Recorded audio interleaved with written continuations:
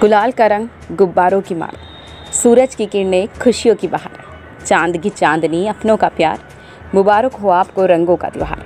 विनीत भारद्वाज, जिला मंत्री भाजपा। एटा की तरफ़ से समस्त देश व प्रदेशवासियों को जनपद वासियों को होली के पावन पर्व की बहुत बहुत शुभकामनाएँ। एवं डीडी टुडे न्यूज़ संस्थान, इनके उज्जवल भविष्य की कामना करता है।